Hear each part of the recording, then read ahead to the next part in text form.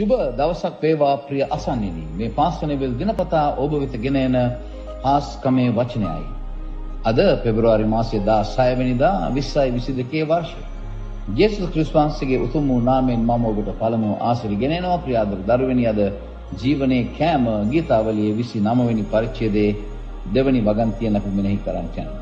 අපේ තේමාව මේ මාසේ নমස්කාරය තලයන් දෙවියන් වහන්සේට අවශ්‍යයි අපි ඒ පියවරෙන් පියවර ඉහළට ඇවිල්ලා උන්වහන්සේ හා සමග සැබෑ වූ নমස්කාරයක් කරනවා නම්. ඉතින් බයිබලය අද කියන්නේ ස්වාමින්ගේ නාමයට දිය යුතු මහිමය දෙව්.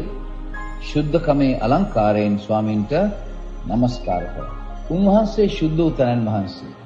සුද්ධ වූ තනන් වහන්සේට নমස්කාර කරන්ටවත් උන්වහන්සේත් එක්ක සම්බන්ධතාවයක් ඇති කරගන්නවත් පුළුවන් වෙන්නේ සුද්ධකම තියෙන කෙනෙකුට විතරයි.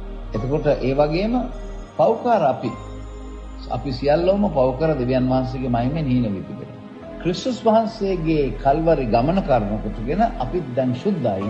ඒ නිසායි අපිට දැන් උන්වහන්සේව নমස්කාර කරන්නට උන්වහන්සේ සමග සම්බන්ධ වෙන්න ආත්මය සහ ආත්මය සම්බන්ධ වෙලා নমස්කාර කරන්න අපිට වරම ලැබිලා තියෙන්නේ අපගේ ගැලවුම්කාර ජේසුස් ක්‍රිස්තුස් වහන්සේ නිසා. ඒ වගේම අපිට අද කියන්නේ දෙවියන් වහන්සේ ශුද්ධකමේ අලංකාරය. දෙවියන් වහන්සේ දෙවියන් වහන්සේ. ඒ නිසා දෙවියන් වහන්සේට ඔබ নমස්කාර කරන්න ඕනේ. ඔබ යම් දෙයක් ගන්න බලාගෙන නෙමෙයි. ඔබ දෙවියන් වහන්සේ දෙවියන් වහන්සේ නිසා නැත්නම් උන්වහන්සේ නොවෙනස් වෙන විශ්වාසවන්ත වූ දෙවියන් වහන්සේ ලෝකය මවා පාලනය කරන දෙවියන් වහන්සේ ශුද්ධ වූ දෙවියන් වහන්සේ ඒ හැම ගුණයක්ම නිසා උන්වහන්සේලා අපි নমස්කාර කරන්න යනවා. කොහොම හරි අපි සභාවටම ගියාම අපි වැඩි වැරදි කරනවා. අපි අහනවා කොහමද අද මගේ নমස්කාරය? නැත්නම් කවුද අද নমස්කාරය මෙහෙවන්නේ?